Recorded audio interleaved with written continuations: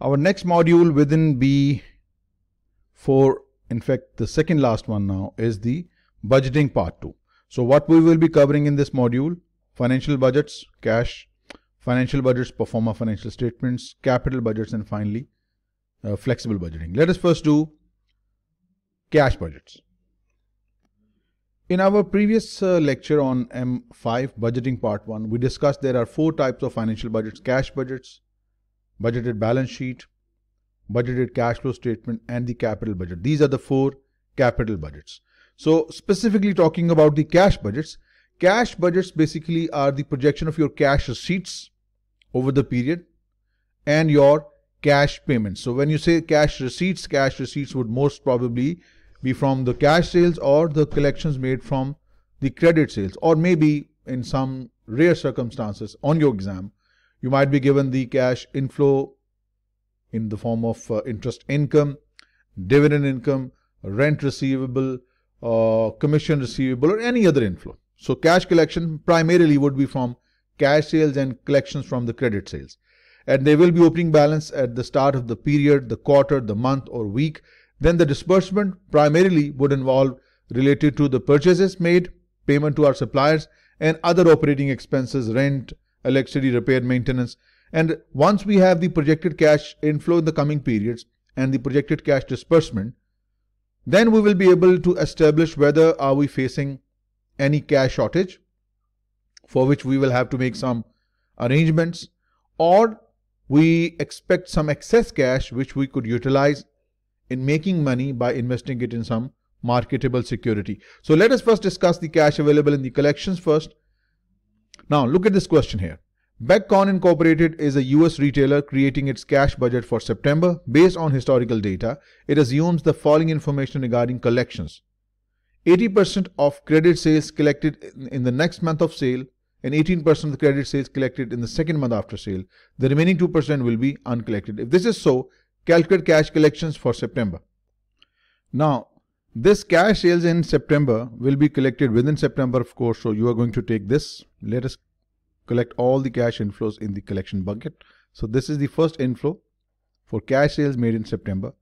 What you sell in September, you're not going to collect anything from this credit sale because it says 80% of credit sales collected in the next month after sale. So the collection against this credit sale will start from October. So you don't get anything from this. Now what you sell in August, the credit sales in August, 80% of this you will collect in the month of September and 80% of 925 would be $740,000. And then what you sell in July, 80% of this credit sale is collected in August and 18%, 18% as per the collection pattern, 18% will be collected in the month of September. 850,000, 18% will give you $153,000. If you add these three, the total collections for the month of September would be 1,063,000. We would need this number for the cash budget. So this is the cash collection, what you call the projected cash collections for the month of September.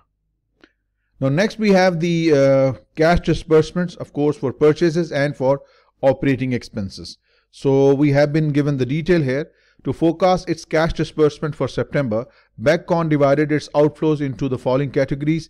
Direct material, 425 to be purchased in August, payable in September, so this is an outflow.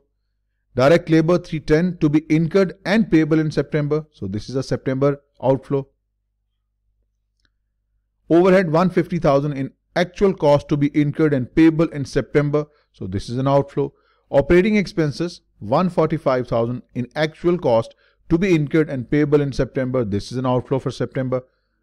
Capital expenditure 120,000 from the capital expenditure budget. This is the outflow for acquiring some asset. Tax payments none in September.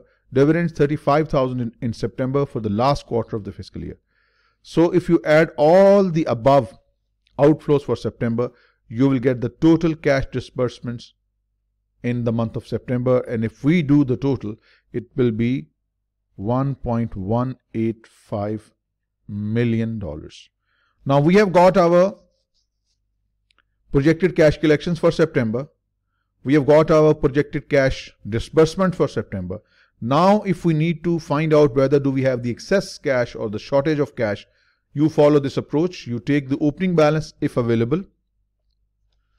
You add up all the collections and you deduct all the disbursements. The resulting number would either be the excess cash which we could invest somewhere for earning interest income or if there is a shortage we may have to make some arrangements to make up the shortfall. So let us see what do we have in the next slide. It says excess and shortage. So Betcon uh, forecast a beginning cash balance for September $80,000. This is the inflow 1063. So if 80,000 is the opening balance for September and we expect 1063 as our inflow, whereas our outflow is expected to be 1185, we are basically short of $42,000. Opening balance plus inflows minus outflows leaves us with a shortage, a shortage of $42,000. So how do we finance this shortage? Betcon forecast a beginning cash balance for September of $80,000. The company would like to ensure that the ending cash balance is at least $50,000. In order to accomplish this, it plans to borrow 95,000 at the end of September from its established line of credit at an annual interest rate of 6%. The first interest payment would not be due until October. So now what do we have? We have an opening balance $80,000. We have 1.063 million as an inflow. So the total cash available would be 1143,000. But our cash disbursement for our purchases and different types of expenses, dividend payments would be 1185,000. We are facing a shortfall, a shortage, 42,000. Since we have made an arrangement of 95,000 borrowing for September, so paying off this shortfall of $42,000 will still leave us $53,000, which is more than the minimum balance requirement as per the uh, information given here. It says that we need to have at least $50,000. So that completes the, the cash budget. We had the opening balance, the projected inflows and outflows. If there's a shortfall, you need to make an arrangement for the borrowings or else if there's a surplus, you will have to find some suitable investment where you can invest your surplus cash to generate returns. So that completes your cash budget. Next subtopic we have pro forma financial statements. So what are pro forma financial statements? They are simply budgeted financial statements. Your budgeted balance sheet, budgeted income statement, your budgeted statement of cash flows, all these are pro forma financial statement and of course your statement of change in equity. So they are just budgeted financial statements. So pro forma is the word we use to differentiate these from the rest of the operating and financial budgets. Okay, now the key components of the pro forma financial statements are the pro forma income statement, where we start from the budgeted sales, budgeted cost of goods sold, budgeted selling and admin. This is what we discussed in detail in your M5 budgeting part 1.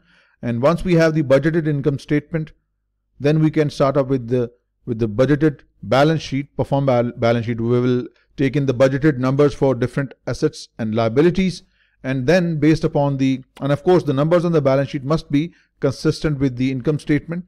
Income statement closing footing would in fact be the input to your statement of retained earnings. And the cash budget closing balance will be input to the current assets figure of cash uh, account in your balance sheet. And then once the balance sheet is drawn up, then we set up our or develop our budgeted cash flow statement. And the numbers taken from the income statement and the balance sheet will help us set or develop our cash flow statement. So let us see how does it look like. The CFO for Packer companies creating a pro income statement for the upcoming fiscal year. The estimated current year income statement shows sales, CGS, uh, selling, general and administrative expenses, interest expense, and the pre-tax profit. For the next year, the CFO forecasts the following. Sales to grow by 5%, which means the revised sales figure as the budget for the next period is 525. It further says an inventory increase of 25,000 along with the projected cost of goods sold manufactured of 365. So if the cost of goods manufactured is 365 and if the inventory is going to go up by 25, so 365 less 25 because CGS uh, has a closing stock as a deduction. So that will give us the figure for 340. This basically is the next year's pro forma income statement. Then further it says uh, an increase in SG&A 10,000 so that would mean a total of 70,000. A pay down of substantial amount of debt reduces interest expense by 15. So it means the interest expense would just be 5,000 and if you just net all these up you will have 110. This is the budgeted figure for profit for the next year. Now the next topic we have is the capital budgets.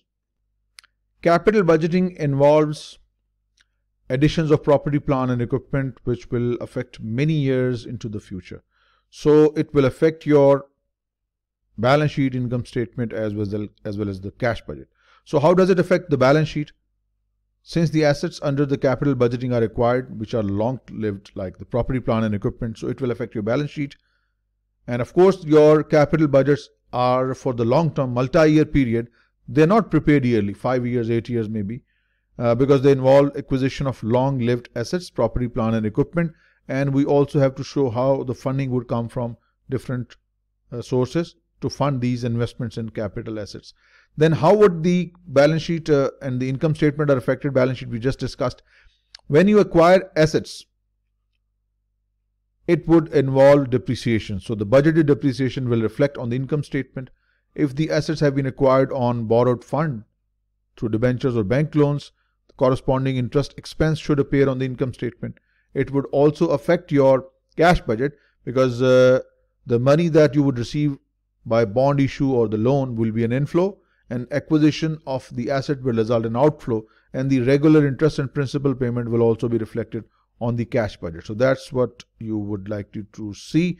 But uh, we have already discussed capital budgeting in detail in our other earlier uh, modules. We discussed how to develop cash, uh, capital budgets, how to evaluate them, how to select between them, how to calculate NPV, IRR, payback and discounted payback all covered in the previous earning. Next we have the last subtopic of this module, flexible budgeting. Let's say for the start of the year 2022, we set up a budget expecting to produce 100,000 units and selling 100,000 units. What happened as the years unfold, the actual number for 2022 could be more than 100,000 or could be less than 100,000. So we could produce and sell more than the budget or we could produce and sell less than the budget. This is the original budget called the static budget or the master budget. But since we have either produced more or less, we may have to revise our budget depending upon the actual quantity of units produced and sold. This is where flexible budgets come in. Let me show you how does it work. Now let's say this is our original static budget produced at this uh, level of sales.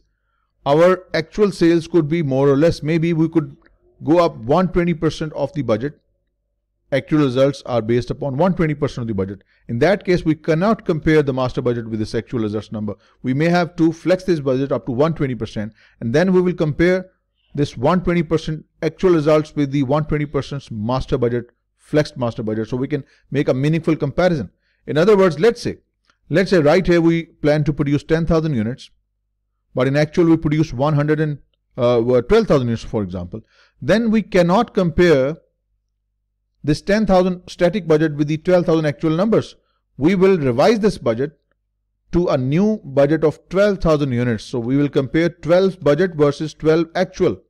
Or conversely speaking, let's say your production was just 8,000 and sales was 8,000. So you cannot compare 8 versus 10. So you will have to draw up a flex budget for 8,000 units with which you will compare the 8,000 actual result. This is how flexible budget will help. We will discuss this example as we go along. There are some assumptions of flexible budgets. First, that uh, the per unit labor, per unit material, per unit variable overhead, per unit variable selling, per unit variable administration. In other words, your variable cost per unit is assumed to be fixed. Your variable cost per unit is assumed to be fixed and your fixed cost in total is assumed to be fixed. Both of these are assumed to be fixed within the relevant range. And this will help us uh, develop variance analysis. I just gave you an example. The original budget was for 10, output could be 12, output could be 8. So we will revise this budget. We'll compare 12 budget versus 12 actual and 8 budget versus 8 actual. This is the uh, use we make in variance analysis. When you compare the 12 budget with the 12 actual, you will identify different type of variances for material, labor, overheads. Some of them will be favorable, some of them will be adverse. Then there are some uh, benefits and limitations to the flexible budgeting approach as well. The benefits that we can identify and set up our variances at different levels of activities. We can identify exactly where things went wrong. And the limitation is that it requires specific, accurate information on variable and fixed costs and the determination of relevant range because it's the relevant range within this your variable cost per unit and your fixed cost in total stays the same and that's the fundamental assumption which may not always be true in different circumstances. Now let's take this example. The Flexmatic Corporation produces the Flexmatic piece of exercise equipment. Corporate controller Felix Flexmeister is uh, developing a flexible budget. Felix has already developed a master budget and estimate that the relevant range extends to 20% above and below the master budget. So calculate the income over the relevant range in dollar uh, assuming selling prices are 60 per dollar and variable cost is 40 per unit, fixed cost is $100,000 and the anticipated output according to the master budget is 5000 units which means your output could be more or less than by 20%. So if your production sale is 20% uh, up, so it means 6000 units are involved. If each unit is uh, budgeted to be sold at 60 per unit, so revenue will be 360 variable cost is 40 per unit 40 times 6000 to 40 this is the contribution margin in case of 6000 unit sale and production. And fixed cost is the same. This would be the budgeted operating income at 6000 production and sales. What if it's 20% less? 20% less means you are going to sell just 4000 units. And when you sell 4000 units at 60 each that's the revenue. 4000 times 40 that's the variable cost. That's the budgeted contribution fixed cost stays the same. So you will be incurring an operating loss in this case. So this is how we can flex the budget up and down. But the questions on your uh, variance section will be bit easier and easily manageable. You don't go to that extent that we do in CMA. So that completes your module 6 budgeting part 2.